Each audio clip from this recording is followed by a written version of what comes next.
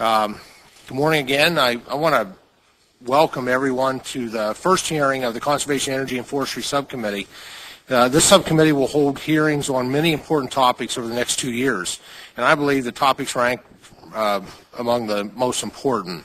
Uh, there are uh, there are two purposes for our hearing today. First of all, we'll review the development and implementation of the Chesapeake Bay TMDL by EPA. And our second purpose is to consider the role farmers play in ensuring a, healthy bay.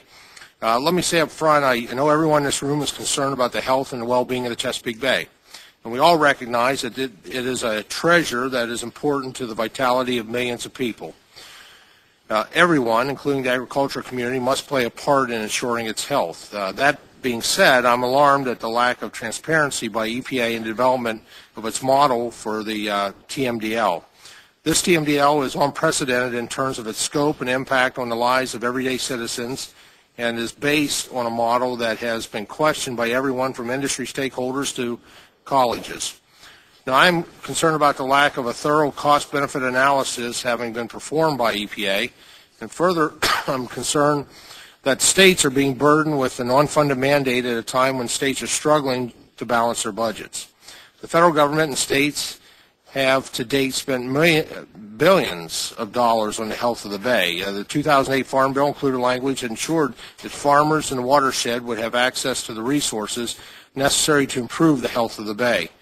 The TMDL will have a devastating economic impact on my constituents. I'm very concerned about the burden that this action by EPA will place on farmers and citizens in my district and throughout the watershed.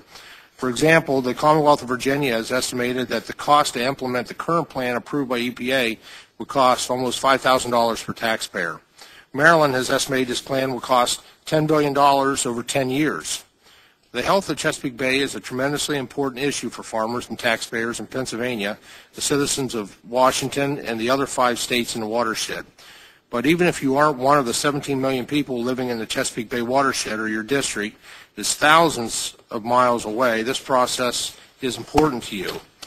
The model and the process used to develop the Bay TMDL will be replicated by EPA on watersheds throughout across the country. So though this may seem a world away, you, you may see this again in the future.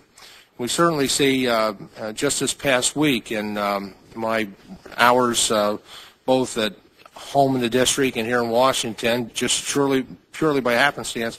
Different agencies coming in, uh, obviously, uh, that are involved in the watershed, the, the Bay as well. The Corps of Engineers who are involved, uh, meeting with uh, county commissioners who talk about their past use of uh, community development block grant monies, specifically to assist municipalities that that impact um, watershed issues.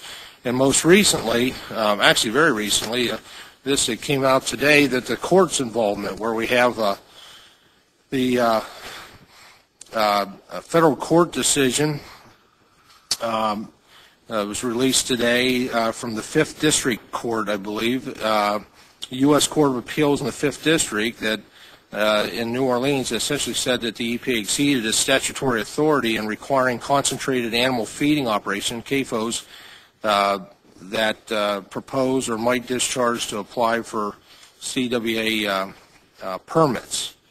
And um, and the fact is a unanimous decision by that court that the EPA cannot require livestock operations to obtain Clean Water Act permits unless and until they have a discharge of NOR into the waterways of the United States.